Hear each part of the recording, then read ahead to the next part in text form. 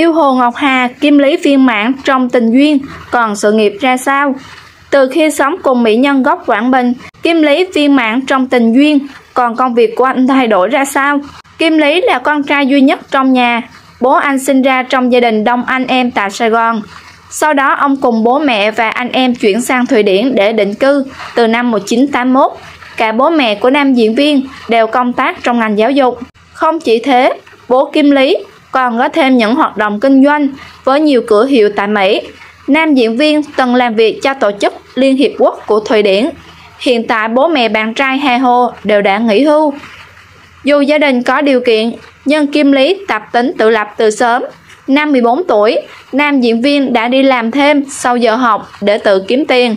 Hiện tại, bên cạnh công việc diễn xuất và đầu tư sản xuất phim, Kim Lý còn sở hữu nhiều bất động sản cả trong và ngoài nước. Anh là ông chủ của một công ty chuyên sản xuất khẩu trang và một quán ăn chuyên về những đồ ăn làm mạnh cho cơ thể. Ngoài gia thế tốt, Kim Lý còn có học vấn cao. Anh thành thạo bốn ngoại ngữ. Bạn trai Hồ Ngọc Hà cũng sở hữu một khối tài sản không hề kém cạnh cô, nhưng anh hiếm khi khoe khoang. Trái ngược lại, anh thích tự khám phá khả năng của bản thân. Kim Lý từng làm người mẫu ở Mỹ, châu Âu, rồi anh về Việt Nam tham gia phim ảnh. Dù gặp phải điều tiếng chữa hơi, nhưng Kim Lý chưa bao giờ lên tiếng giải thích. Kim Lý vẫn làm việc kiếm tiền khi yêu Hồ Ngọc Hà. Thực tế, Kim Lý vẫn làm đại diện cho nhiều thương hiệu thời trang cùng nhiều sản phẩm dành cho nam giới. Trên trang cá nhân, Kim Lý không ngại khoe những thương hiệu mà anh đang hợp tác. Tài khoản mạng của Kim Lý cũng thu hút số lượng lớn người theo dõi và đây cũng là kênh kiếm tiền của nam diễn viên. Chính Hồ Ngọc Hà khi muốn mời Kim Lý làm đối tác cũng phải trả cách xê cho anh. Cụ thể trong một sự kiện cách đây vài năm, Kim Lý cho biết từ khi về chung nhà, anh được vợ chăm chút dung mạo sức khỏe kỹ lưỡng.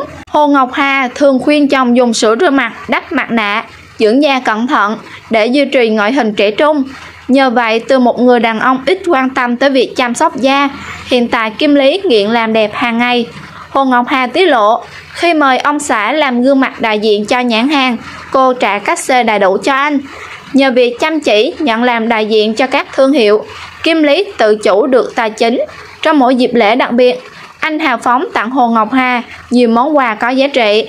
Giọng ca cô đơn trên sofa, từng khoe nhẫn kim cương lấp lánh, phía sau là dòng chữ Kim Lý. Nhiều người suy đoán đây là món quà mà Kim Lý tặng cho Hồ Ngọc Hà. Sau khi yêu Hồ Ngọc Hà, ngoài chuyện chủ động trong tài chính, Kim Lý còn rất chăm chút cho gia đình nhỏ của mình. Đặc biệt là anh quan tâm tới con riêng của vợ. 6 năm yêu Hồ Ngọc Hà, Kim Lý vẫn luôn dành cho Sobel sự chăm sóc tận tình. Hồ Ngọc Hà thường xuyên chia sẻ những khoảnh khắc cực đáng yêu của con trai bên bố dưỡng lên mạng xã hội. Không chỉ dẫn bé đi chơi, Kim Lý còn dành thời gian sinh hoạt, cùng học Sobel chứng minh mối quan hệ thân thiết với bé. Chính điều này khiến Hồ Ngọc Hà rất tự hào về con trai. Cô từng khẳng định trên truyền thông rằng luôn tin tưởng Kim Lý sẽ là một người cha tốt. Hà Hồ còn đăng tải hình ảnh Kim Lý cúi thấp người để thắt dây dày cho con trai cực chu đáo.